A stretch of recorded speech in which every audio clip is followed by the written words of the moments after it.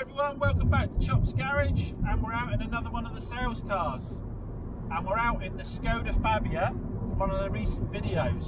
As you know with all my sales cars before I start throwing any money at them I take them for a good drive. Home and back is about probably 50 minutes in total uh, so it's a good opportunity for any faults to come up with the vehicle. There's a few testing hills as you're about to see and so we get a good chance to check the brakes, the suspension, and the performance through the gears, if the clutch is going to slip, all those kind of nice things we get to check. Um, it makes sense to me because I don't know to put money into cars that aren't going to be any good or are going to cost too much to resolve. And it also means I'm one of the few salespeople that can give you genuine feedback on how the used vehicle drives. So, this person's going to crawl up the hill in front of us now. Um, but the Fabia seems to be going along all right. It's doing better than this 2016 Clio is. We'll have to drop it down a gear though because of them. So we've got a little Mini Cooper coming up behind us. So many comment, uh, many thanks for all the comments on the previous video on the Fabia where I said, you know, is it not good enough to retail? What am I going to do with it, kind of thing. There were a lot of good suggestions on it. Um, if you don't know what we're talking about, you probably need to go back and watch that video. But some of the good suggestions were to wrap the roof white after sanding it down and get a replacement bonnet from the breaker's yard. And then I would have like a cheap Monte Carlo edition paint the wheels black. Great ideas it would certainly look better. And I think then you probably realise maybe 2295 for it something like that maybe even a little bit more. But I'll give you the reasonings as to why I wouldn't do that. Even now knowing that the car drives fantastic because it really does. There is no knocks or bangs from the suspension. The gearbox is smooth. It no overheating problems, no warning lights other than no fuel. It drives absolutely brilliantly. All of the electrics work and it has got auxiliary input, so a lot of you corrected me on that, it's down by the gear lever. The only electrical problem I found is the driver's door won't lock on the remote key or manually, so it does need a new lock on the driver's door, you can't lock it at the moment. But other than that, it drives absolutely brilliant. This is the 12 valve of the three cylinder. I've had the six valve before, found it a bit slow. This 12 valve is really good actually. It's a bit of a revelation to me. It's like a completely different engine. It pulls so much better, so much smoother. It's got plenty of torque, plenty of get up and go. I'm really quite surprised how nippy it is. So really, really pleased with those side of things. So you might say, with knowing it drives so well, why not do the work that you suggested? Which is a fair enough question. But the thing with it is, if I sell it now for 1500 quid as is, I'll make a couple hundred, two or three hundred pounds out of it. Let's say, possibly 300 pounds, let's say. Now, the issue with every hundred pounds more I spend on this car is I will pay 16 pound in VAT. So it won't put another hundred pound in my pocket. It'll put 84 pounds in my pocket. So that's number one problem that I'm not going to bank the extra cash. So let's say we do sell this for two, three. Let's make it round, make life easier, and we could sell it for say 1500 as it is. That's 800 pounds difference. Oh, okay, ideally 800 pounds. So what's a bonnet going to cost me? It's going to probably cost me by the time it's posted 150 quid. Wrap and paint's 50 quid. So 200 quid's out of that straight away. So we're down to 600 pounds. If I'm going, and that's before we start taking out the VAT, if I'm going to then try and retail it at that full price, I need to stick a new MOT in it. That's going to cost me at least easily 150 quid because even with the best one in the world, driving as well as it is, it's going to need something, isn't it? So where are we now? We had 800 quid extra, but we have um, lost. I've already lost myself. We lost say um, 350 quid in bits and bobs. So we're down to £500 extra cash. To do that work is going to probably take me a couple of days. So we've got two days labour. To prep this and sell it for 1500 is about two hours labour to wash it, hoover it out and just give it a quick polish over. So we've got, uh, say, a two or three hundred pound profit for a, a few hours work versus say 500 pounds for two days. Then on top of that, I've got to take a warranty out on it. It's for £100 if I fully retail it. So it's actually £400. And then as I said, I've got the VAT, which is going to be what over another hundred pounds, so I'm down to three hundred pounds. So long and short of it is, I will end up making the same profit by doing next to nothing to the car as I will spending two days finding parts, fitting parts, prepping, painting, you know, the, the whole thing, and then potentially still have comebacks on it. So that is the reasoning behind why, even though it drives fantastically, which again I am very impressed with, it will be better just to stick it out the door as is. So I will update you on how I get on with that um, a bit later. So just a quick reminder on that as well. I will sell with no warranty. So I get, I always get asked questions about how warranty works. I, I can sell a car with no warranty. It's entirely legal to sell a car with no warranty because every sale comes under the Consumer Act. A lot of people say sell it sold as seen or sell it trade. I cannot sell trade other than to another trader. So if anybody ever puts trade sale on your receipt and you're not a trader and you've not told them you're a trader, obviously if you're dishonest it's a different matter, but if you're not a trader and they put tra trade on the receipt, it means absolutely nothing. You still have your consumer rights. Only a trader to trader can get rid of the consumer rights. They can put sold as seen on there. That means nothing. Again, still falls under your consumer rights. The only way you can truly sell a car to a consumer without any comeback is spares or repair. And in order for it to be spares or repair, you are not allowed to test drive the vehicle on a public road and you are not allowed to drive it away from their premises. A true spares and repair car has to be trailered away and cannot be test driven on public roads. Because as soon as a dealer allows you to do that, test drive the vehicle on a public road or drive it away, he is saying that it is roadworthy. And obviously, under the Consumer Rights Act, uh, sale of a vehicle, it has to be roadworthy.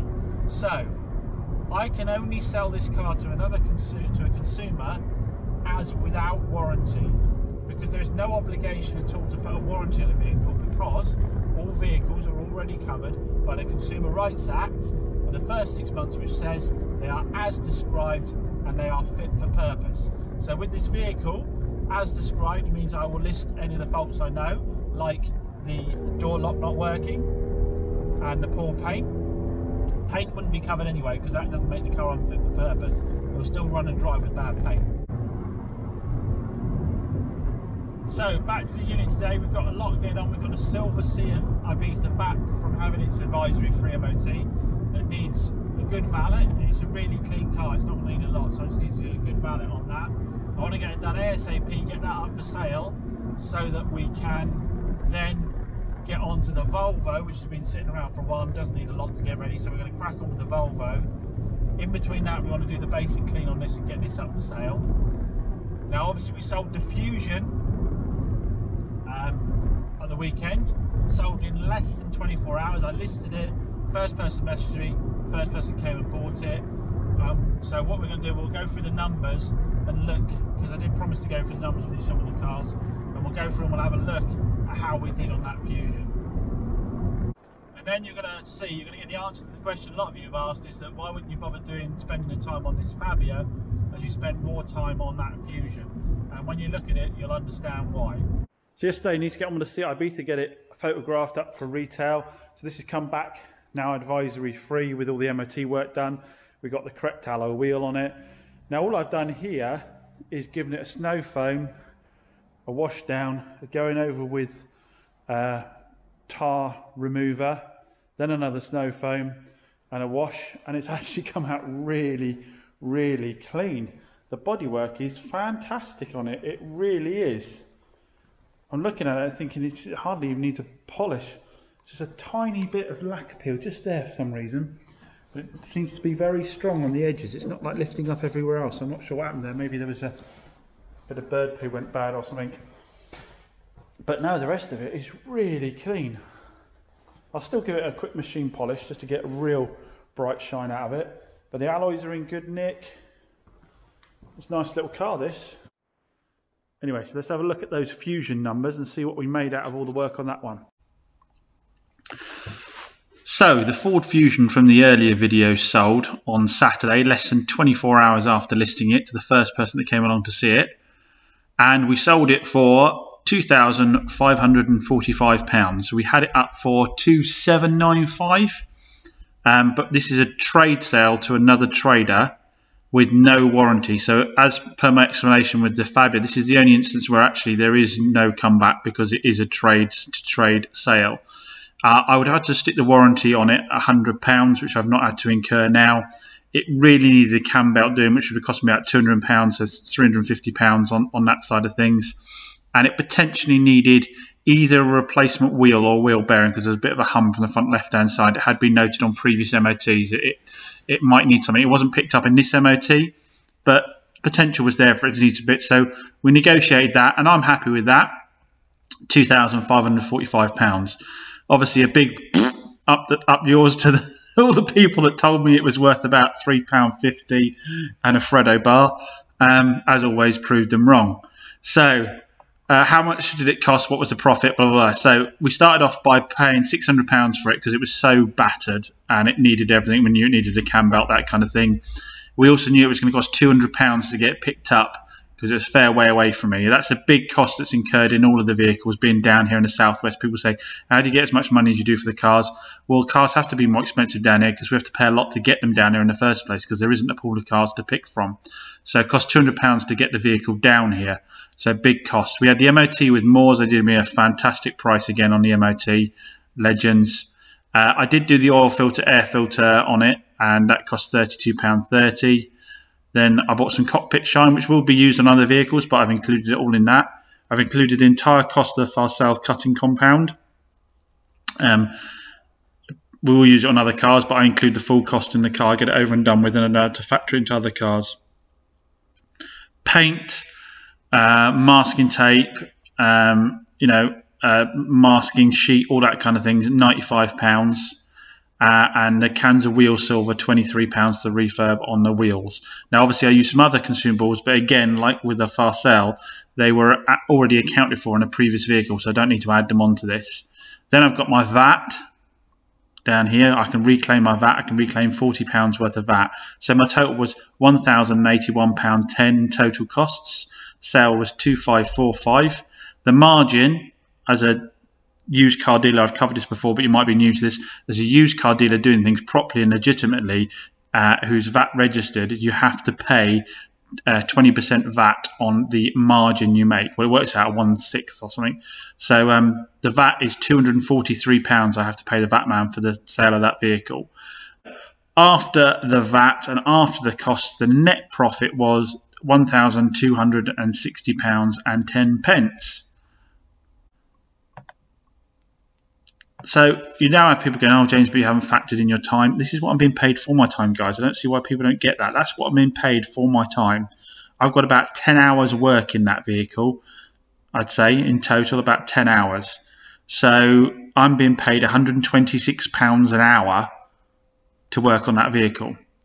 Now, you could say you have overheads. That's a fair argument. I've got the electric, I've got the cost of the unit, I've got my insurances. So we could spread that across the vehicle sales in a month and say this vehicle needs to make, say, £150 contribution towards overheads, let's say. So if we take that out of the equation, cover make a contribution towards overheads, we're still talking £1,100. So again, on you know 10 hours of work, I'm still being paid 110, 111 pounds an hour for my work. That's the profit is what I get paid for the hours of work I put in. Some people don't seem to understand that. They seem to think I need to deduct hours from that and then work out what my profit is. I'd only need to do that if I was paying somebody else to do the car. If I was paying somebody a salary for 10 hours of work, I'd need to deduct that from this and then that would be my true net profit. But this is what I'm paying myself for doing the job. So £1,100, let's say, after a contribution. So a healthy, healthy profit but you can see why on this vehicle it's worth doing where the net value of the, the, the retail value of the vehicle is two and a half and I've bought it for six. Now with the Skoda, I think it owes me thirteen hundred pounds and the retail value is about two two. So that's why it doesn't work out doing the work on it. Basically, I overpaid for the car. You make money on cars when you buy the car, not when you sell it, because it's all about how, what price you get the vehicle for is all about how much profit you end up making. So hopefully that's helpful. Now, obviously, they don't all work out that way. I will do a rundown you on the last few vehicles. I've been promising for a while. I'll do a rundown with you on the last few vehicles as um, as to how much I've made out of those. Again, this is a prime example of what I talk about a lot, where someone now turns around and goes, I sold a car for a dealer for £600. He then had it in his forecourt for two and a half grand. For two and a half grand, he made £1,900 out of my car. It doesn't work that way. So frustrating when you hear that. Firstly, you've got the VAT. Then you've got the actual preparation of the vehicle to even be able to retail it on the forecourt. Then you, you can see from my previous video how much effort I put in to preparing that vehicle. Comment down below now if any of you um, resent me earning £1,100 out of that Fusion after the amount of work I put into it, the level of preparation I did for it. Um, to get it ready for retail. Because I think if any of you got a problem with it, then it's unreasonable, to be honest. So some of you could say, well, at the end of the day, you could have sold that car for cheaper to that chap, and um, you'd have still made a good profit out of it. So on the ones where you're you're doing well at it, you should sell them a bit cheaper and give, give something back to the people. It doesn't work that way either, guys, because there's other vehicles where I'm not making that much money out of it, where there's a big problem with it. I deal with a warranty claim after the sale of the vehicle, where I end up only making maybe three, four hundred pounds out of a vehicle. So you have to take the wins where you can to counter some of the losses. If you sold this car cheaper because you happen to do well on it, then you'd end up making no money because there's other vehicles you actually could potentially lose money from. So hopefully that makes sense. And again, to all those people that told me that the Fusion, they could pick up one locally, the same miles, the same age, for, you know, £4.50 in a flipping bag of skips. Sorry, it's there you go. There's a proof in the pudding. If I'd overpriced it and I was overselling it, it wouldn't have sold in less than 24 hours. But we'll still go through that merry-go-round again. We've got it on the Micra, got it on the Fabia. So I just like keep continuously just proving people. anyway, guys, thanks for watching that. There'll be another video out really soon. Um, do keep the comments coming, even if they're negative ones, because I love them all. Get in there and comment them. Uh, sometimes get accused of deleting comments. Never deleted a comment in the entire time I've been doing the channel. I can honestly tell you that. The only ones that have ever been deleted have been deleted by YouTube for having inappropriate language in them or being a link to pornography or anything like that. So if you're going to put negative stuff down, I'll leave it out there. There's no problem at all. Other people comment it, I can comment it, I find it amusing. Um, but it really doesn't bother me at all. I have to say, overall, though, 99% of comments really positive, really helpful. So thanks ever so much for them. I do apologise as I don't get back to um, responding to all of them. I do try and do like a big marathon of going through and replying to every comment. It might be yours was just the one before I cut off and had to stop. But do keep them coming. Thanks as always, guys. Catch you again soon.